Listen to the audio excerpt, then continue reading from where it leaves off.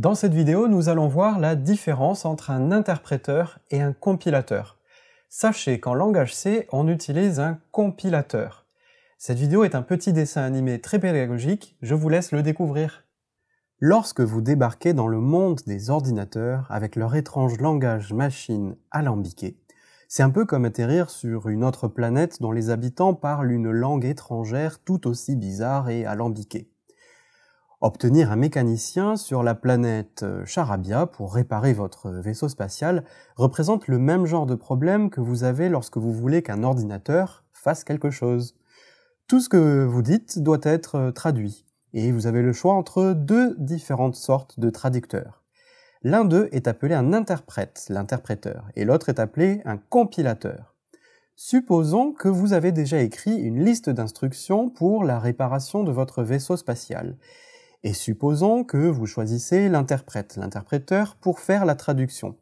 Il lit votre première instruction, ouvrir le capot moteur de la fusée, traduit cela en charabia, et le passe immédiatement au mécanicien qui exécute les instructions. Puis l'interprète lit votre deuxième instruction. Alors l'instruction c'est enlever la bougie. Il traduit cela en charabia et il le transmet au mécanicien qui s'exécute et ainsi de suite, ainsi de suite. Maintenant, remarquez comment l'interprète travaille. Il reste avec vous tout le temps. Il traduit chaque instruction immédiatement, une par une. C'est un processus qui est assez lent. Pourquoi? Parce que le mécanicien doit patienter pendant que chaque instruction est en cours de traduction. Mais d'un autre côté, cela vous donne une chance de corriger vos erreurs pendant la réparation. Si le mécanicien enlève la mauvaise bougie, par exemple, vous verrez cela arriver tout de suite et vous serez en mesure de modifier l'instruction en conséquence. Comparez avec la façon dont le deuxième sorte de traducteur, le compilateur, fait son travail.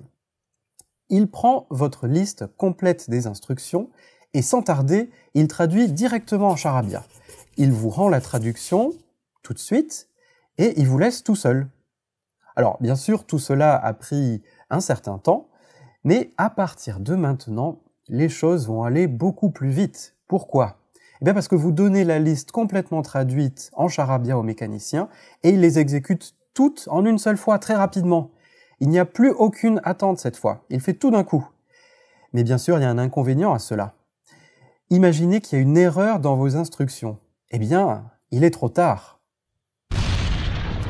Cette analogie est très proche de la façon dont l'interprète et le compilateur fonctionnent réellement pour traduire les programmes informatiques écrits dans différents langages. Un interprète est plutôt lent, démarre immédiatement et vous permet de voir comment les choses se passent.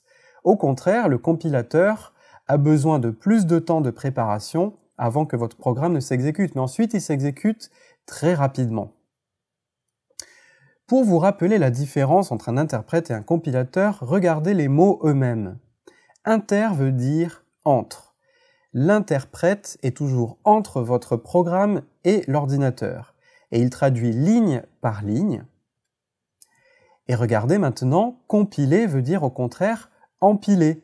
Un compilateur empile votre programme en entier et traduit le tout en une seule fois.